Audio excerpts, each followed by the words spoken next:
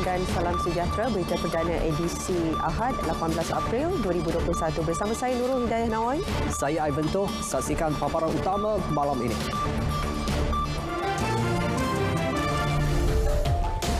Iklan judi raya bertentangan prinsip dan etika ganggu ketenangan umat Islam berpuasa.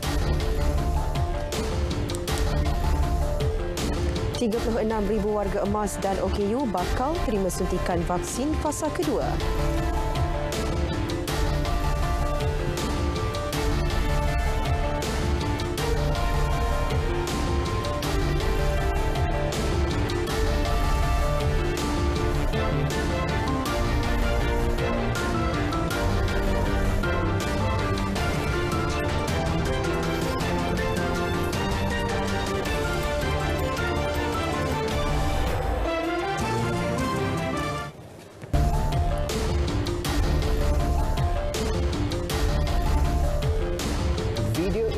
Aidilfitri berunsur perjudian yang tular di media sosial sejak beberapa hari lalu melanggar etika dan prinsip kebebasan media. Tegas Menteri Komunikasi dan Multimedia Datuk Saifuddin Abdullah, penerbitan dan penyebarannya turut mengganggu ketenangan umat Islam berpuasa. Justru siasatan menyeluruh akan dilakukan sebelum tindakan tegas dikenakan terhadap pesalah bagi mengelak isu sama berulang termasuk semasa perayaan kaum lain. Kerajaan tetap mempertahankan kebebasan uh, media termasuk dalam media sosial. Tetapi tentulah ada batas-batasnya. Dan dari segi batas-batas itu kita sudah pun ada undang-undang yang sedia ada di mana sekiranya seseorang itu melanggar sesuatu hal maka ia haruslah bersedia untuk berhadapan dengan hukuman. Beliau memaklumkannya pada sidang media khas di Putrajaya. Setakat ini 13 individu telah disiasat berhubung penghasilan dua video iklan raya berunsur perjudian. Masing-masing dimuat naik di media sosial pada Jumaat dan semalam. Kesemua individu tersebut terdiri daripada pengarah produksi, juru kamera serta para pelakunya. Pada sidang media sama, Timbalan Pengarah Risikan Operasi Jabatan Siasatan Jenayah Bukit Aman, Datuk Dev Kumar berkata polis sedang memburu syarikat perjudian dalam talian terbabit. Beliau yakin dapat mengesan syarikat tersebut hasil siasatan terhadap 13 individu terlibat dalam penghasilan video iklan berkenaan. Polis juga sedang mengesan seorang lelaki dikenali sebagai Lo Ki Ho, 35 tahun yang dipercayai dalam utama mengarahkan pembikinan dua video tersebut. Kes disiasat ke Seksyen 505 Kanun Keseksaan, Seksyen 233 Atas Komunikasi dan Multimedia dan Seksyen 4 kurungan 1 kurungan G atas rumah judi terbuka 1953. Dan orang ramai diingatkan agar tidak memuat naik semula dan menularkan video iklan Aidilfitri berunsur perjudian dalam talian di media sosial. Pengerusi Suruhanjaya Komunikasi dan Multimedia MCMC Dr. Fadulullah Suhaimi Abdul Malik menegaskan individu yang ingkar berdepan tindakan undang-undang. sebenarnya kalau kita lihat uh, dari segi penyalahgunaan rangkaian memang uh, boleh kita ambil tindakan. Ya, buat masa ini kita pesan janganlah menular. Ya. Tapi kalau masih lagi kita tergil dan kalau kita ambil tindakan, janganlah marah. Ya. Setakat ini MCMC telah meminta penyedia platform seperti Facebook, YouTube dan Twitter untuk menurunkan 61 kandungan video berkenaan. 13% sudah diturunkan berdasarkan pelanggaran terma perkhidmatan manakala selebihnya masih dalam proses penilaian penyedia platform. Isu meremehkan agama dan kepercayaan masyarakat majmuk di Malaysia tidak sepatutnya berlaku jika kontrak sosial difahami dan dihayati sepenuhnya. Justru penganalisis politik Profesor Dr. Siva Morgan Pandian menuntut masyarakat agar saling menghormati dan menjadikan perbezaan serta kepelbagaian dalam negara sebagai pengikat bagi mengeratkan hubungan ke arah perpaduan nasional. Setiap warga negara harus berpegang kepada konteks perlembagaan dan rukun negara. Perlembagaan itu jelas memberikan gambaran kepada kita bagaimana ia harus mempertahankan kepelbagaian, ia harus menghormati, faham dan juga menerima perbezaan yang wujud dalam perlembagaan itu, memberikan pengiktirafan kepada kedudukan agama Islam sebagai agama resmi, agama lain boleh diteruskan, kedudukan bahasa Malaysia sebagai bahasa resmi, bahasa-bahasa lain boleh dipraktiskan, kedudukan hak istimewa Bumi Putera dan bagaimana hak sah kaum lain turut dipertahankan. Ujar beliau jika isu itu tidak ditangani ia bakal membarah dan merugikan generasi akan datang. Bagi saya, saya melihat bahawa uh, perubahan yang besar harus dilakukan kata sifat kita. Jika keikhlasan, kejujuran tiada, maka sukarlah untuk kita mencapai tahap untuk uh, merapatkan jurang di antara kelompok etnik. Kelompok ini yang cuba mengambil kesempatan uh, dengan menggunakan Uh, isu-isu yang bersifat perkauman, isu-isu yang bersifat keagamaan uh, sebenarnya merupakan golongan yang uh, tidak pun memahami citra rasa di dalam konteks kepelbagaian. Menjelang fasa kedua program imunisasi COVID-19 kebangsaan yang akan bermula esok, Menteri Penyelaras Khairi Jamaluddin Abu Bakar dengan kerjasama Jabatan Penerangan Wilayah Persekutuan Japan turun padang melaksanakan kempen pendaftaran vaksin COVID-19. Program Info on Wheels Japan itu diadakan di sekitar di PPR Sri Perlis 2, Kramat dan PPR Sungai Bonus Jalan Air Panas di Ibu Negara. Vaksin COVID-19 adalah selamat. Vaksin COVID-19 adalah berkesan. Vaksin COVID-19 boleh melindungi kita dan keluarga kita daripada penyakit COVID-19. Sila daftarkan diri anda dan keluarga anda yang berusia 18 tahun ke atas untuk vaksin COVID-19. Sekarang kita akan bermula fasa 2 program imunisasi COVID-19 kebangsaan. Khairi Jamaluddin dan petugas Japan Wilayah Persekutuan membantu golongan warga emas, orang kurang upaya OKU serta golongan rentan yang berpenyakit kronik mendaftar untuk vaksinasi fasa kedua di kawasan perumahan berkenaan. Pelbagai kaedah pendaftaran dipraktikkan termasuk penggunaan My Sejahtera dan pendaftaran menerusi laman web. Kaunter pendaftaran juga dibuka bagi memudahkan pendaftaran secara manual bagi mereka yang tidak mempunyai aplikasi My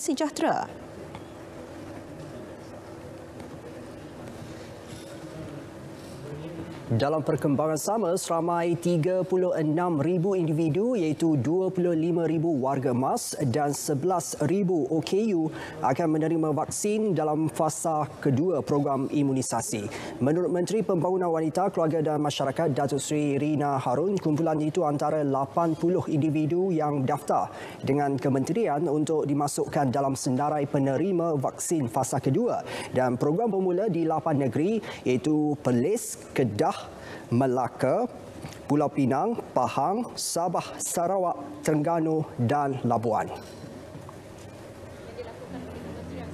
Ya, jadi uh, kita sentiasa uh, mempergiatkan usaha untuk pendaftaran vaksin terutama untuk golongan sasar di bawah kementerian OKU, warga emas kerana ada di antara mereka sebenarnya uh, mungkin kurang pengetahuan untuk mendaftar.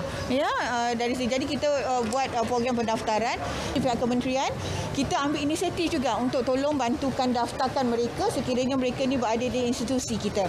Jadi kita tolong daftarkan untuk mereka. Beliau memberitahu media selepas menghadiri program Dapur Rakyat Prihatin anjuran pejabat Adun Selat Kelang di Selangor. Fasa kedua program imunisasi menyasarkan 9.4 juta penerima dalam kalangan warga emas, OKU dan kumpulan yang mempunyai penyakit kronik. Menteri Komunikasi dan Multimedia Datuk Saifuddin Abdullah pula menyatakan pihaknya telah mengemukakan permohonan agar pemberian vaksin kepada pengamal media disegerakan memandangkan mereka sebahagian daripada petugas barisan hadapan. Katanya beliau telah menangguhkan pengambilan vaksin COVID-19 kerana mahu bersama-sama pengamal media untuk menerimanya. I think fasa dua lah. Kita ni termasuk fasa dua insyaAllah.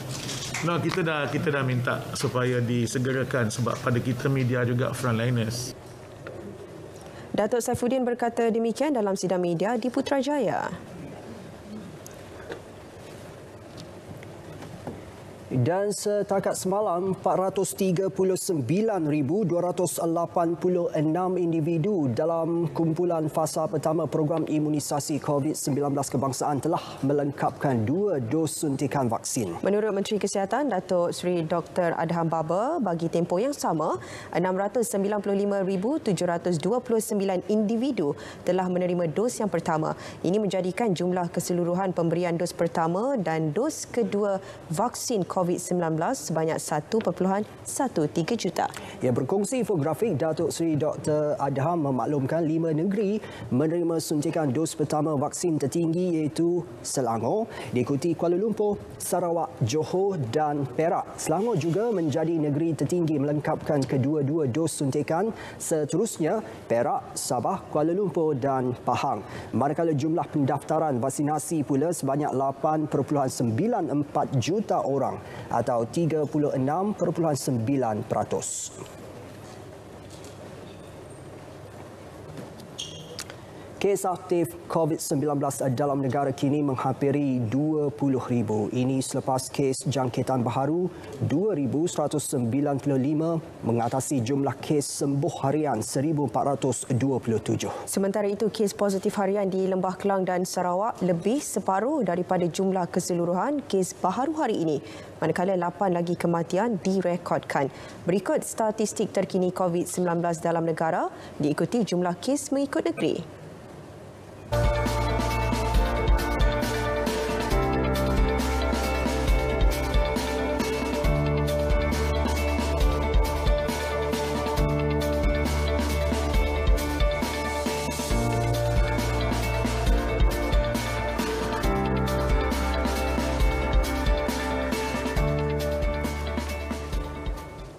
lagi kluster baru dikenal pasti hari ini, tiga kluster tempat kerja dan masing-masing satu kluster komuniti dan kluster berkaitan institusi pendidikan. Jangkitan melibatkan tiga buah negeri iaitu Selangor, Johor dan Sarawak. Ketua Pengarah Kesihatan Tan Sri Dr. Nur Hisham Abdullah dalam kenyataan menyebut Selangor mencatatkan dua kluster baru iaitu kluster Selat Kelang dan kluster Tapak Bina Cahaya Alam. Kluster Selat Kelang melibatkan daerah Kelang dan Petaling juga melibatkan 25 kes positif yang telah dikesan. Kluster tapak bina cahaya alam pula melibatkan daerah Petaling apabila 20 kes positif dikesan. Sarawak turut mencatatkan dua kluster baru iaitu kluster Tarat Tani dan kluster Jalan Bintulu Sibu. Kluster Tarat Tani melibatkan 21 kes positif iaitu daerah Surian, manakala kluster Jalan Bintulu Sibu pula melibatkan 11 kes di daerah Tatau dan Bintulu. Johor pula mencatatkan satu kluster baharu iaitu kluster Jalan Perindustrian 1 di daerah Muar. Seramai 254 kes positif dikesan dalam kluster tersebut. Ia berkuat kuasa esok, Mahat Tafiz Sains Tanah Merah Kelantan dikenakan perintah kawalan pergerakan diperketatkan PKPD selama dua minggu. Menteri Kanan Pertahanan Datuk Seri Ismail Sabri Yaakob memaklumkan 43 kes positif COVID-19 direkodkan dengan kadar keboleh jangkitan yang tinggi di lokaliti tersebut. Setakat ini, Kementerian Kesihatan KKM telah melaksanakan 396 ujian saringan. Pelaksanaan PKPD itu untuk memudahkan KKM melaksanakan saringan secara bersasar serta mengekang penularan ke komuniti luar. Sementara itu, PKPD dilanjutkan sehingga 27 April ini di lima lokaliti sekitar Hulu Besut Terengganu. Ia membabitkan Kampung Belauh, Kampung PPRT Belau Baru, Kampung Keruak, Kampung Paksik dan Felkra Keruak.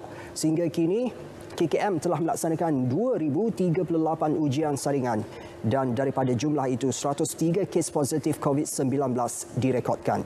309 baki sampel saringan sedang menunggu keputusan.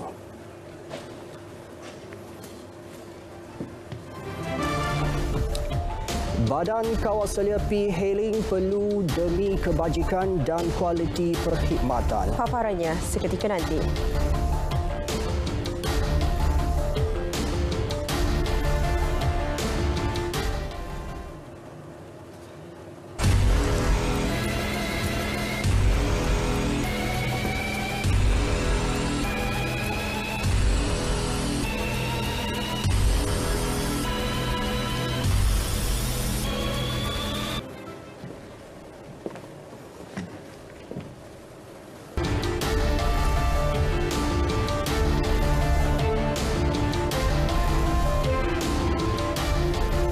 Seluruh dunia menghadapi kekangan keuangan serta mengalami defisit besar sehingga mencecah 15% dan Malaysia tidak terkecuali.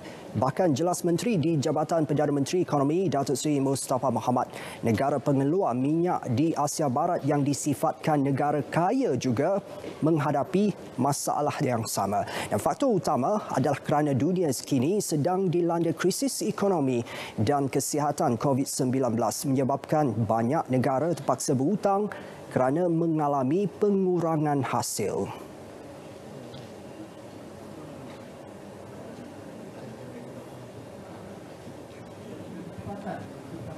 Bila uh, pendapatan merudum sudah pasti kutipan cukai pun jatuh ya. Uh, itu itu realitinya ini bukan perkara yang boleh disorok. Ini, ini semua diketahui ya. Uh, jadi uh, pada masa yang sama keperluan meningkat dan ini merupakan prioriti kerajaan. Uh, yang pentingnya ya sekarang ni kita sekarang ni uh, bekerja keras kerajaan bekerja, uh, bekerja keras uh, untuk uh, merangka tindakan memulihkan ekonomi negara. Mengulas lanjut, Datuk Seri Mustafa menjangkakan ekonomi negara kembali pulih antara 6 hingga 7.5% tahun ini. Beliau mengulas perkara itu dalam sidang media berhubung sesi libat urus banci penduduk dan perumahan Malaysia 2020 status pembancian peringkat Kelantan di Wisma Persekutuan. Katanya 15 juta orang atau 46% daripada 32.7 juta anggaran penduduk negara ini pada tahun 2020 sudah selesai dibanci. Aceh.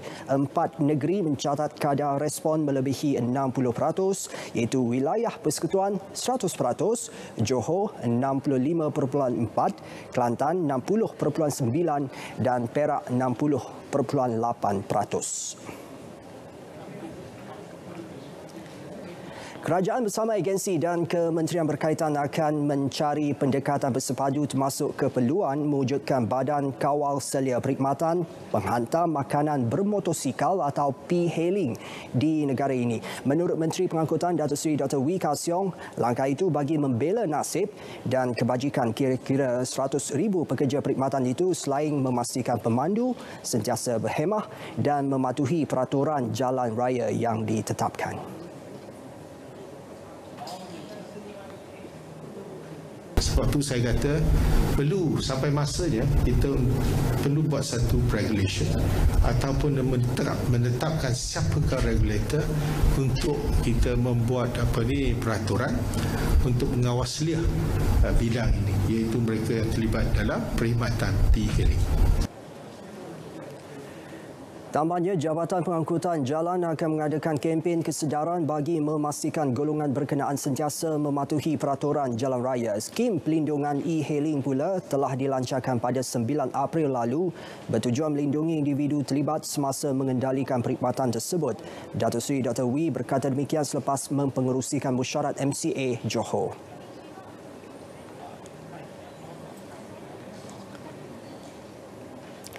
Dan susulan kenaikan mendadak harga ayam, Kementerian Perdagangan Dalam Negeri dan Hal Ehwal Pengguna KPDN HEP melaksanakan operasi anti pencatutan 8.0 bermula 15 April lalu. Menterinya, Datuk Seri Alexander Nathan Linggi memaklumkan sepanjang operasi pada 15 dan 16 April 40 notis dikeluarkan. 24 daripadanya kepada pemborong yang disyaki mencatut dan 16 kepada penternak atas kesalahan yang sama.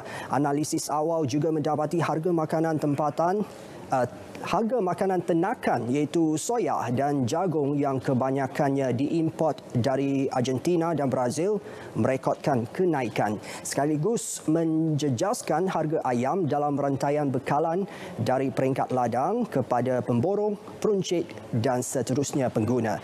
Datuk Seri Alexander berkata KPDN HEP juga melaksanakan ops pantau di seluruh negara bermula selasa lepas membabitkan bazar Ramadan, pasar awam serta pasar raya dan kedai runcit dengan tumpuan terhadap peniaga ayam, daging dan ikan.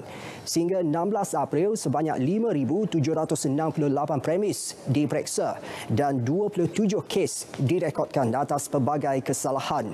Sejak 13 April, KPDN HEP menerima 15 aduan. Masing-masing berkaitan harga ayam dan ikan, dua mengenai sayur dan satu aduan tentang harga daging. Mengenai dakwaan aplikasi Price Catcher KPDN HEP memaparkan harga ikan, ayam dan daging lembu terlalu tinggi, Datuk Seri Alexander berkata paparan yang tular itu hanya membabitkan harga tiga barang, iaitu ikan kembung, ayam dan daging di kawasan elit, iaitu di Bukit Bintang. Semakan mendapati ada premis lain di kawasan berdekatan yang menjual tiga barang berkenaan pada harga lebih murah daripada yang dinyatakan dalam hantaran Facebook tersebut. Dan jelas beliau lagi paparan harga aplikasi Price Catcher disusun mengikut premis dan lokasi serta harga dari yang terendah kepada tertinggi. Ia bertujuan memudahkan pengguna membandingkan harga ditawarkan semua premis berdekatan dengan lokasi pengguna.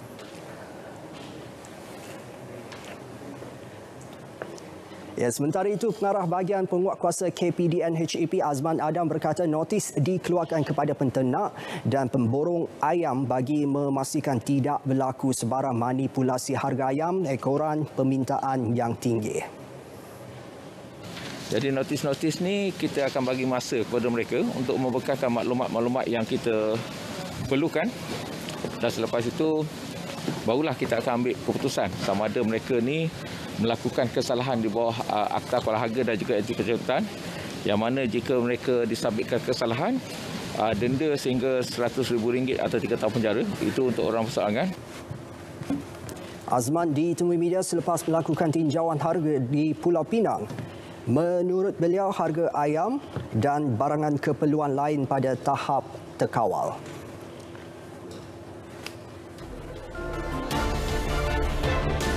Harta suspek pukul pekerja kerana berpuasa akan disita. Paparannya seketika nanti.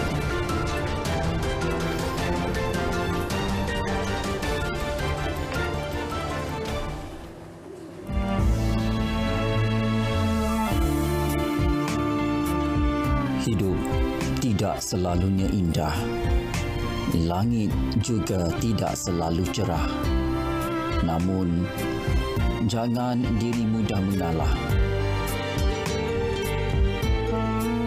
Ketika terasa resah dan lelah, mengharapkan berlalunya musibah, diri perlu terus tabah. Saat Ramadan menjengah, teruslah bermuhasabah. Mencari hikmah dalam beribadah, menggapai redha Allah.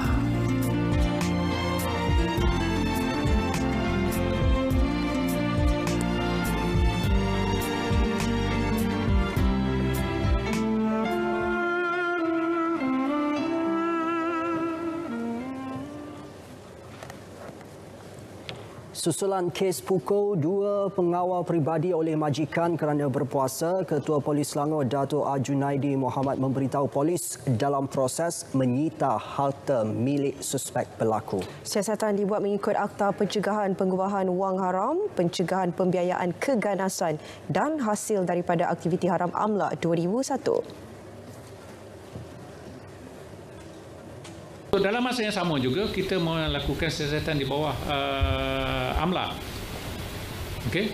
Uh, pihak ini di uh, siasatan ini dijalankan oleh pihak Bukit Aman, uh, pihak Bukit Aman dan uh, uh, saya dipahamkan memang uh, kita dalam proses uh, untuk kita uh, menyita uh, harta dan sebagainya. Dato' Arjunaidi menyatakan perkara itu dalam sidang media di IPK Selangor. Terdahulu di Mahkamah Majistrik Kelang, Majistrik Nur Atika Zakaria mengeluarkan perintah reman lima hari sehingga Kamis ini terhadap suspek. Ia bagi membantu siasatan mengikut Seksyen 324 Kanun Keseksaan kerana mendatangkan kecederaan.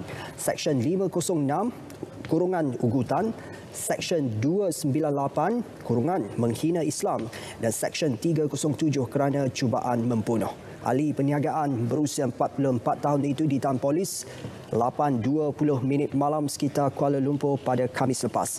Pada hari sama, Mahkamah Majistret Kelang turut mengeluarkan perintah hariman terhadap empat individu termasuk seorang pengawal peribadi bagi membantu siasatan kes tersebut.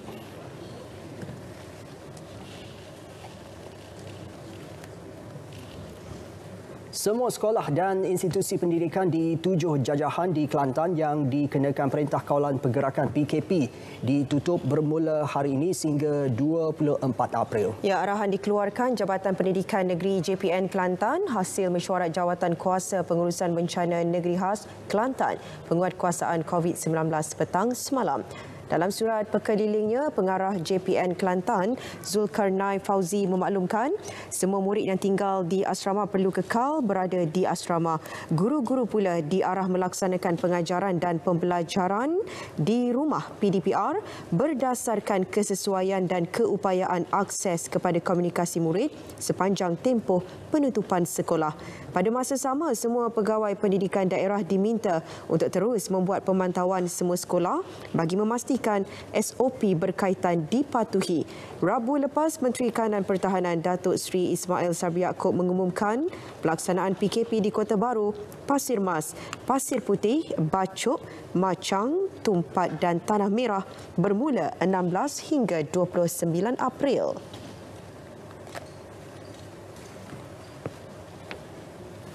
Pasukan Task Force Operasi Pematuhan yang diketuai PDRM akan menggembeling tenaga mengadakan operasi pematuhan SOP COVID-19 secara besar-besaran di seluruh negeri Kelantan bermula esok. Ketua Polis Kelantan Datuk Syafiq Imamat berkata selain polis, 49 pasukan daripada agensi lain turut digerakkan bagi membantu penugasan tersebut. Operasi pematuhan akan dijalankan di lokasi yang menjadi tumpuan ramai seperti di Pasar Raya dan dan pasar awam dalam usaha mengekang penularan COVID-19.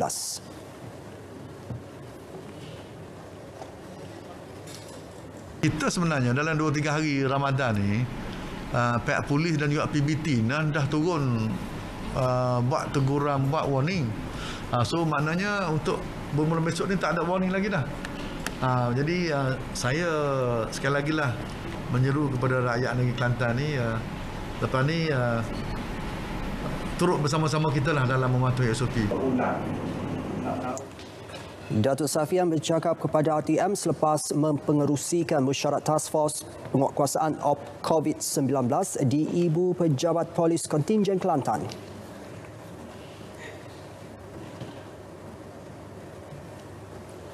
Berita perdana kita teruskan dengan segmen sukan. Bersama rakan penyampai Syairul Islam. Silakan Syairul.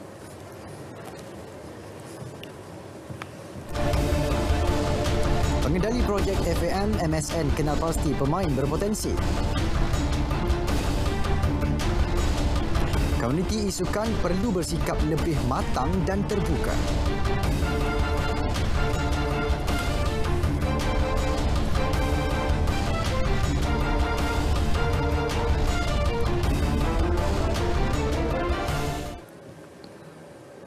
Assalamualaikum dan salam sejahtera bersama saya Syairul Islam dalam edisi Sukan. Saingan Liga Super Perak FC gagal memanfaatkan peluang beraksi di laman sendiri selepas seri 1-1 menentang Kedah Darul Aman KDA FC. Keputusan tersebut sekadar membolehkan tuan rumah berada di tangga ke-9 Liga dengan 9 mata manakala KDA FC di tangga ketiga dengan 17 mata. Perlawanan yang berlangsung di Stadium Perak itu menyaksikan kedua-dua pasukan mempamerkan aksi seimbang namun masing-masing gagal mendapatkan jaringan ketika separuh masa pertama. Bersambung babak kedua tuan rumah berjaya meraih gol pertama perlawanan menerusi penyerang naturalisasi kebangsaan Guillermo Di Paula pada minit ke-58. Bagaimanapun, dominasi Perak FC tidak bertahan lama apabila membenarkan pelawat menyamakan kedudukan menerusi Kepa Sherman pada minit ke-79. Menurut pengendali Perak FC Chong Yifat, keputusan seri itu dianggap mengecewakan susulan penyudah tumpul pasukannya.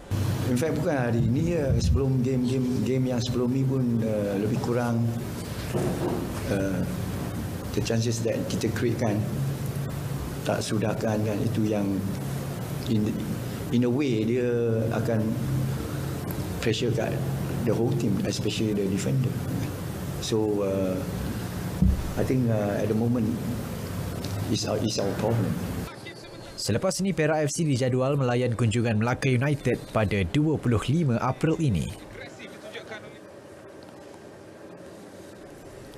Sementara itu di Stadium Likas Kota Kinabalu Sabah menyaksikan Sabah FC mencatat kemenangan kedua dalam kempen Liga Super selepas menewaskan UiTM FC dengan keputusan 4-0.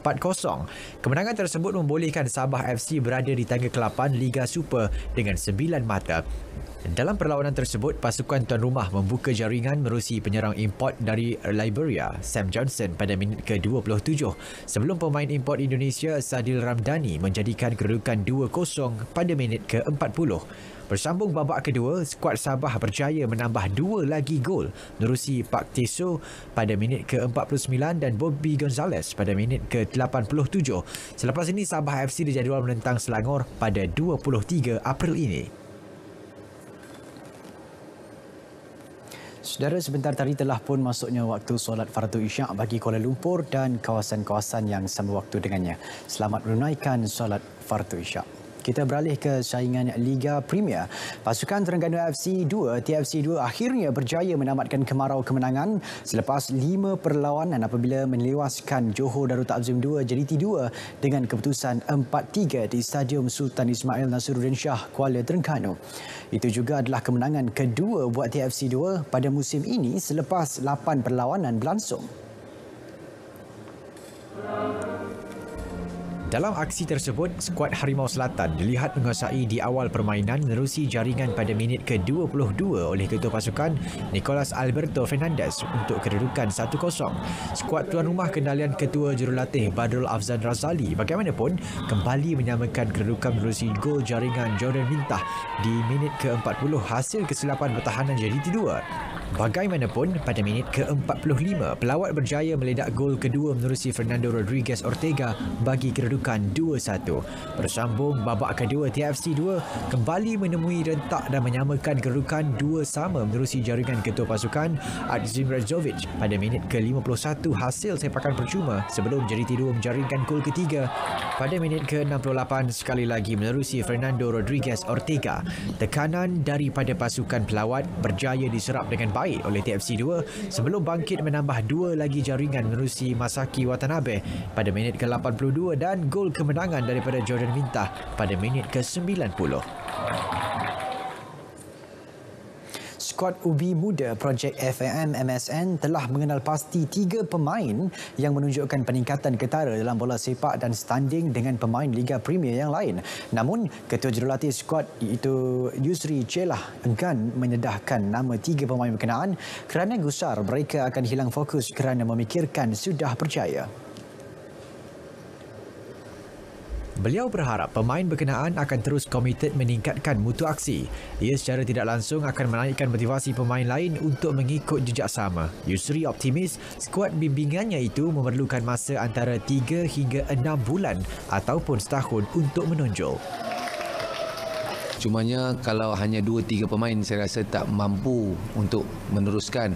Kita perlukan semua pemain. Jadi saya rasa masa diperlukan untuk pemain lain untuk menonjol. Semalam, skuad projek FAM MSN tewas 0-3 di laman sendiri dalam aksi Liga Premier menentang Kelantan United FC. Jurulatih menafikan para pemainnya berada dalam keadaan tertekan. Beliau berharap mereka akan terus berusaha untuk meneruskan perjuangan Liga yang masih berbaki 11 perlawanan lagi.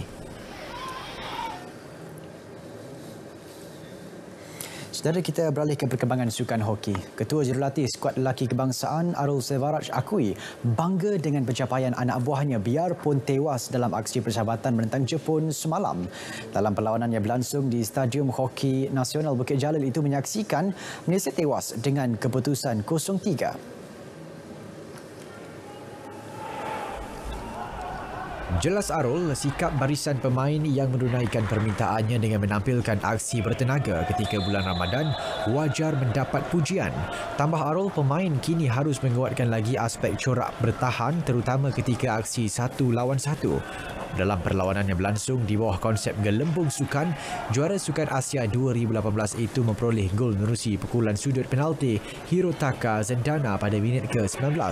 Pada babak kedua, pasukan pelawat yang beraksi terus menambah dua lagi gol padang melalui Kota Watanabe dan Rosai Kato masing-masing pada minit ke-50 dan 55. Itu juga adalah perlawanan pertama Arul setelah mengambil alih tugas daripada jurulatih berpengalaman dari Belanda, Roland Othman yang melepaskan jawatan pada Ogos lepas.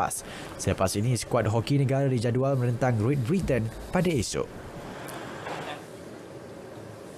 Saudara, atlet terjun negara Nodabitah Sabri akui masih berdebar untuk menyertai pertandingan antarabangsa terutama selepas lama tidak beraksi. Nodabitah dijadual melentai kejohanan Piala Dunia FINA di Jepun ada awal Mei depan dalam misi memburu slot kesukan Olimpik Tokyo. Kejohanan Piala Dunia tersebut sebelum ini hampir dibatalkan berikutan wabak COVID-19 yang melanda seluruh dunia. Itu juga merupakan kejohanan terakhir buat Davita bagi melayakkan diri ke Tamasya Sukan Olimpik Tokyo 2020 meskipun peluang memiliki emas dikatakan cerah buatnya untuk qualify kalau kita maintain macam training and then maybe if the best performance yes uh, peluang untuk qualify ke Olympic pun sangat cerah juga kalau kita maintain dan just uh, tak nak pressure sangat lah just maintain je Davita akan beraksi bersama pasangannya Wendy Eng untuk kategori 2 meter seirama wanita pada kejohanan itu nanti. Pasukan PUBG Mobile tempatan Digos MPX menggesa komuniti isukan tempatan bersikap lebih matang dan terbuka. Ia susulan pelbagai kecaman diterima pasukan itu selepas muncul juara Liga Profesional PUBG Mobile Malaysia dan Singapura musim ketiga baru-baru ini. Jelas salah seorang pemainnya Muhammad Mukhris Lutfi Farid Adlan, kecaman di laman media sosial itu bermula selepas pasukannya berjaya menyingkirkan dua pasukan pilihan iaitu Team Secret dan Yudo Gang. Ia juga adalah kecaman paling teruk diterima pasukannya sepanjang lima tahun bergelar pemain profesional. Uh, macam saya dengan Arul uh, streamer dekat Facebook. Uh, macam Arul itu lepas uh, habis game dia buat terus buat live. And then banyaklah kecaman dia dapat dari segi macam uh, doa macam pelik-pelik apa semua. Uh, kata-kata sat lah. Uh, macam saya itu bila dah tengok Aru kena je tu jadi takut lah nak stream. Saya cuti hampir 4 hari lah. Dingos MPX terdiri daripada lima anak muda iaitu Muhammad Harith Aymar Stanley, Muhammad Saiful Anwar Syahrum, Muhammad Mukhris Lutfi Farid Adlan, Syahrul Dauli Jailani dan Muhammad Haziq Hanafi Madzin. Liga Profesional PUBG Mobile Malaysia dan Singapura musim ketiga akan kembali bersambung di peringkat Grand Final pada 23 April ini dengan tim Secret dan Geek Fam akan beraksi bersama Digos MPX. Tindakan sebuah sekolah yang meletakkan kaum sebagai syarat pendaftaran ko-kurikulum pelajarnya merupakan sesuatu yang tidak wajar. Ini kerana pemilihan acara sukan tidak sepatutnya mengikut warna kulit. Sebaliknya, sukan sepatutnya menjadi ejen perpaduan rakyat. Kita lihat dalam sukan uh, berpasukan uh, di peringkat uh, antarabangsa, tingkat antarabangsa dan atau uh, di tingkat uh, uh, kompetitif uh, di peringkat uh, uh, prestasi tinggi seperti Datuk Lee Chong Wei, Lee Zijia uh, kita melihatkan uh, hubungan yang baik antara dua bangsa yang berbeza uh, melahirkan kejayaan yang begitu bermakna kepada negara. Jadi kita perlu belajar daripada uh, pasukan uh, uh, pasukan bowling uh, negara Pensyarah kanan Fakulti Komunikasi dan Pengajian Media UITM Ahmad Faisal Mawatfiah pula berpendapat tiada mana-mana kaum patut mendominasi mana-mana acara sukan. Contohnya uh, paling hampir kita boleh lihat ketika Sukan C uh, 2017 yang lalu di mana uh, seluruh rakyat Malaysia uh, berpadu di belakang um, di di belakang negara uh, bagi menyatakan sokongan. Dan juga kita pernah lihat uh, pelbagai kejohanan sukan di mana uh, ketika memberikan sokongan um, faktor perkauman bukanlah la, lagi menjadi uh, uh, keutamaan. Yang penting adalah kita harus menyatakan sokongan dan rasa cinta kita kepada negara kerana kita uh, berpayung di bawah satu panji iaitu Malaysia Sebaik tular, tindakan sekolah berhubung pendaftaran ko-kurikulumnya mendapat kritikan ramai. Antaranya Menteri Belia dan Sukan, Menteri Komunikasi dan Multimedia dan Menteri Pendidikan. Pihak sekolah kemudiannya menarik balik arahan dan memohon maaf. Saudara berita tadi mengakhiri edisi Sukan 18 April 2021. Kekal aktif dan teruskan kesetiaan anda bersama kami. Saya Syairul Islam. Assalamualaikum sampai kita berjumpa lagi itu tu malu berapa air? Perlawanan bola sepak Liga Super 2021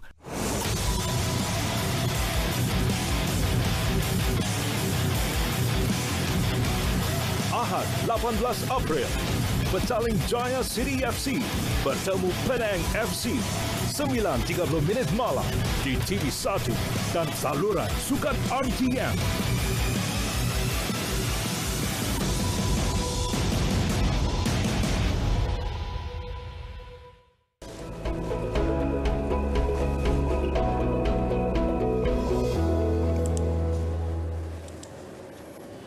Assalamualaikum dan salam sejahtera. Pada ketika ini, Taufan Surige kini sedang berada di Tenggara Naga City, Filipina dan sedang bergerak menuju ke arah barat dengan kelajuan 5 km sejam. Namun demikian, keadaan ini tidak memberi kesan signifikan kepada rantau negara. Dan buat masa ini, negara kita masih lagi berada dalam tempoh peralihan monsun dengan kelajuan angin yang agak lemah iaitu sekitar 10 hingga 30 km sejam. Oleh itu, jabatan kami tidak mengeluarkan sebarang amaran angin kencang dan lap gelora buat masa ini.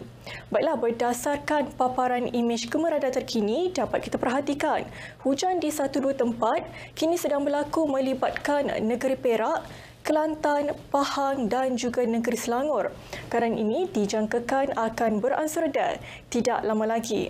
Manakala bagi Sabah dan juga negeri Sarawak, hujan di satu dua tempat kini hanya berlaku melibatkan daerah pantai barat dan juga pedalaman di negeri Sabah. Manakala laluan kawasan tiada hujan yang dicerap buat masa ini. Dan keadaan cuaca yang tiada hujan ini dijangkakan akan berterusan sehingga ke pagi nanti. Baiklah, sekian sahaja laporan cuaca untuk malam ini. Sekarang kita lihat ramalan cuaca bagi bandar-bandar utama di seluruh Malaysia. Saya Syazwan Yahya. Assalamualaikum.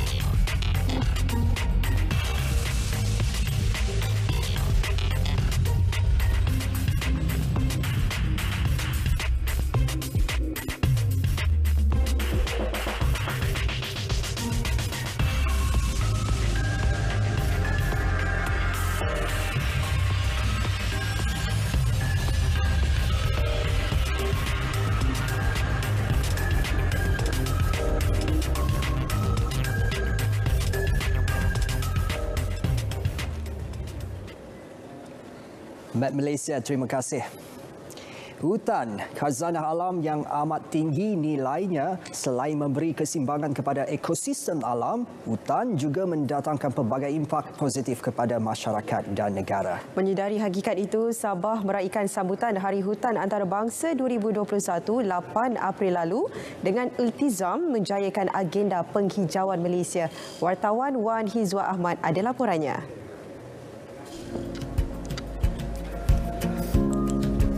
Agenda penghijauan Malaysia melalui kempen penanaman 100 juta pokok di seluruh negara yang dilancarkan Perdana Menteri Tan Sri Muhyiddin Yassin 5 Januari lalu menjadi titik tolak kepada kesungguhan Sabah untuk memelihara khazanah hutan.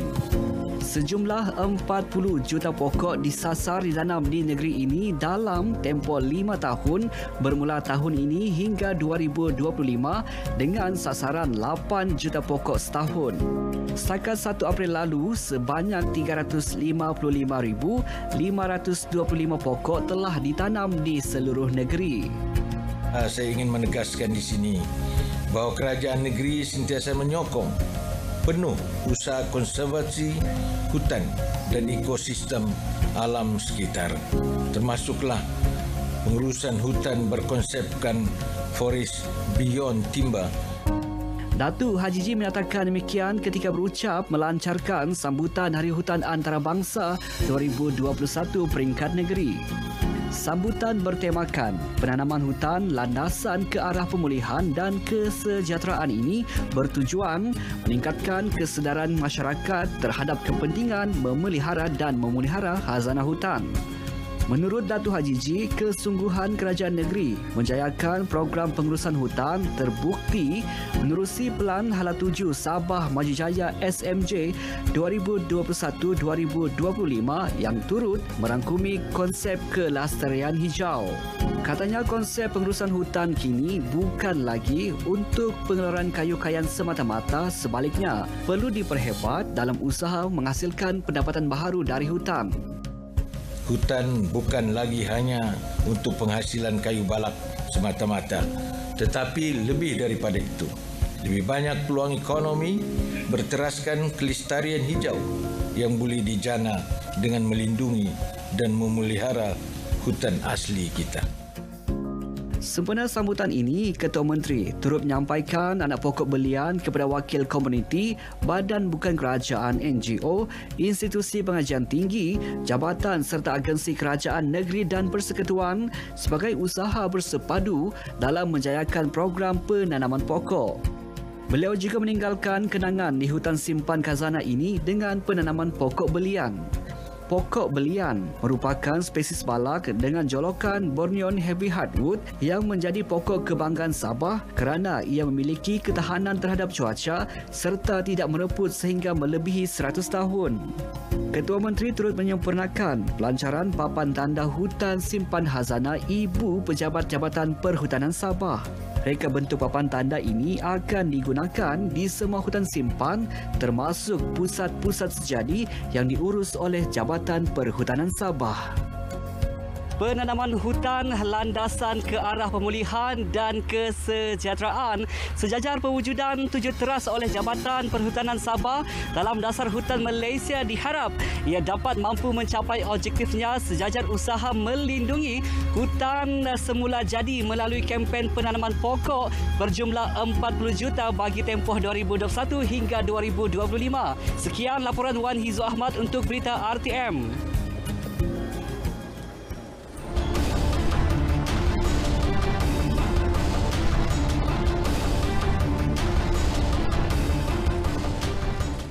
Selain mendapat tumpuan menerusi lagu-lagu baladanya, penyanyi yang berusia 27 tahun kelahiran Kanga Perlis ini juga mampu menambat hati peminat setiap kali menyanyikan lagu nasyid. Menurut Kai yeah. ataupun nama sebenarnya Muhammad Khairul Baharudin, dia amat bersyukur kerana album nasyidnya berjudul Damba Ketenangan akhirnya terjual lebih 500 unit pada hari ketiga jualan di platform e-dagang.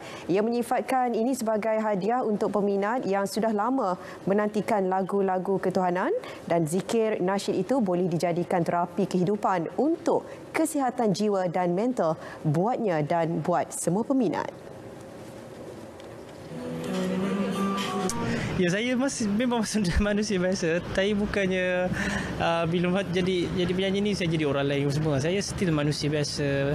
Uh, pernah melakukan kesilapan dan still orang kata tak lepas daripada kesilapan ya dan saya rasa benda ini merupakan kita punya macam uh, slowly untuk uh, mendekatkan diri dengan Tuhan macam tu Selepas muncul dengan lagu Setanggi Syurga 2020 bersama kumpulan nasyid popular Intim tahun lalu, penerbitan album Zikir dan Ketenangan itu diibaratkan sebagai hadiah untuknya dan syarikat rakamannya.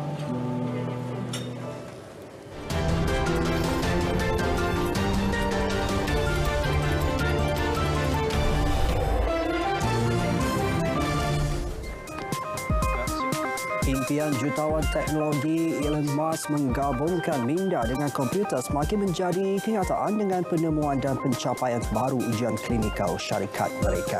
Menerusi video yang dimaknai di YouTube, asas bersama Neuralink itu menunjukkan seekor monyet bernama Pager bermain permainan video pong dengan menggunakan mindanya bagi mengendalikan cabaran permainan itu di layar skrin. Peranti Neuralink diimplan dalam otak Pager untuk merasai deria aktiviti neuron. Pager akan diberi minuman pisang sebagai ganjaran apabila berjaya menyelesaikan cabaran video berkenaan.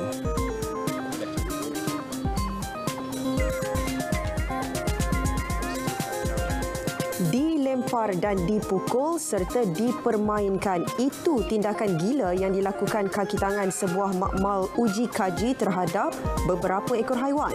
Haiwan-haiwan malang tersebut turut dieksperimen, ditoreh dan dipotong hidup-hidup tanpa diberi ubat bius.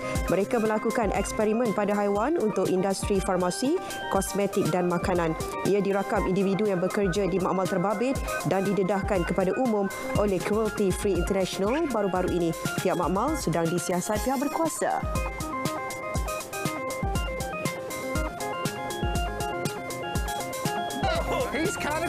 Program reality pada kebiasaannya menampilkan sesuatu yang pelik dan mengejutkan. Itu yang dilakukan oleh YouTuber terkenal Mr. Beast. Kali ini Mr. Beast mencabar rakan-rakannya agar baring bersama puluhan ekor ular di dalam sebuah tab. Sekiranya berjaya, pemenang akan ditawarkan ganjaran sebanyak $10,000 dolar. Namun video berdurasi 14 minit itu turut memaparkan beberapa cabaran yang lain dan rata-rata netizen menyebutkan cabaran oleh Mr. Beast pada program kali ini adalah sesuatu yang agak mencabar dan mengerikan.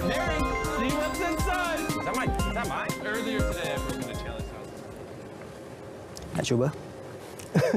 Berita perdana edisi 18 April 2021 berakhir di sini. Segera lakukan pendaftaran untuk janji temu vaksinasi COVID-19 di aplikasi My Sejahtera. Terus amalkan hmm. norma baharu dan patuh ke semua SOP untuk kita mencegah penularan COVID-19. Dengan ini, Assalamualaikum. Salam sejahtera. Jumpa lagi.